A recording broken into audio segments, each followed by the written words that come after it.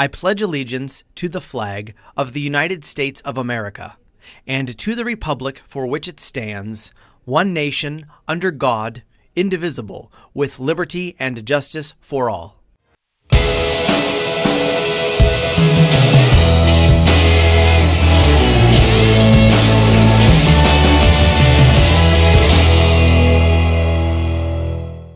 Thanks for tuning in to Falcon Vision. I'm Helena Snyder, And I'm Elena Protopapa. and these are your announcements.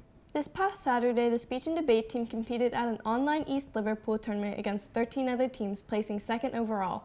Individual trophy winners include Abby Rader, first place in Congress, Abby American second, and Emma American first place in declamation, Alyssa Oswald in third, and Brooke Main fourth place in drama, Elizabeth Jadu fifth place in humor, Willow Keller fifth place in informative, Armand Givanone in first, Mia Ritchie in sixth, and Jenna Billett in second place in extemporaneous speaking. Hannah Planey fifth place in original oratory, and Cara Benyo sixth place in program oral interpretation. Congratulations to the entire team.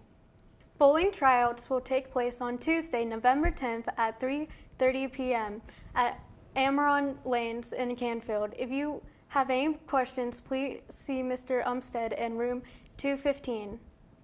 Attention all students interested in joining the Fitch Interact Club. The first meeting will take place on Monday, November 9th at 2:45 in room 261. Part of our responsibility as a club is to provide opportunities for recycling inside of our school.